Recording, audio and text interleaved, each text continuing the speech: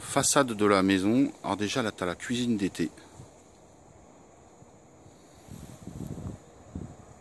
Là au fond tu vois une chambre indépendante qui peut être totalement indépendante. Façade plein sud.